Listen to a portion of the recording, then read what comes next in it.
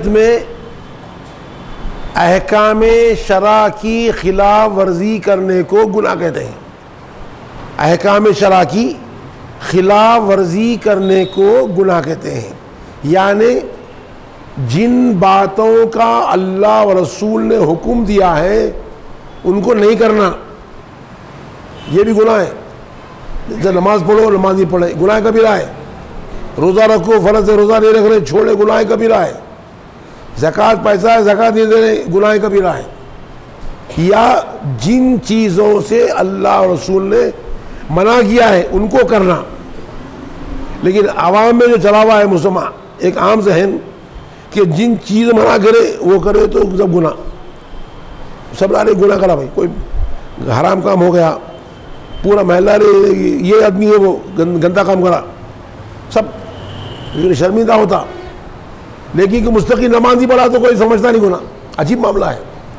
अगर मुस्तकिल नमाज़ नहीं पढ़ रहा है तो गुनाहगार समझते नहीं कोई उसको। रोज़ा नहीं रख रहा है तो उससे कोई नफरत नहीं करता। दिमाग जो पब्लिक का बना हुआ है, पैसा रख के जक़ात नहीं दे रहा है हज नहीं कर रहा है, कोई गुनाह समझते नहीं।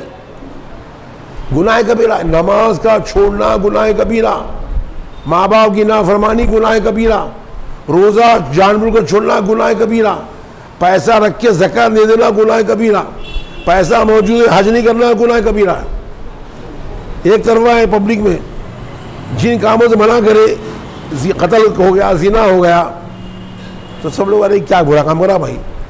सब लोग उस पर जो है लान तान करते, उन्हें शर्मिंदा होता, मैं गुनाह करा पड़ा अब मुस्तकिल नमाज़ नहीं पड़ा कोई, इसको गुनाह का समझ नहीं गुनाह कबीरा कर रहा हूँ। एक नमाज़ नहीं छोड़ा गुनाह कबीरा अमल में छोड़ा था। इतफाकन छुड़ गई है कज़ा पढ़ लेना है। छुड़ गई नीयत छोड़ेगी नहीं है, कज़ा पढ़ लेना है। मुस्तकिल नमाज़ नहीं पढ़ा, पाँचों नमाजें। गुनाह कबीरा, रोज़ना पाँच कबीरा गुना हो रहे रमज़ान के रोज़े आमदन नहीं रहा है पूरा तीस रोज़े के तीस गुनाह कबीरा हो रहे तो ये ख्याल रखना, फ़िका में लिखा हुआ है, सब है। पर पब्लिक में जो बात चली हुई है, कि जो माना है वो करे तो गुना आज के खुद वो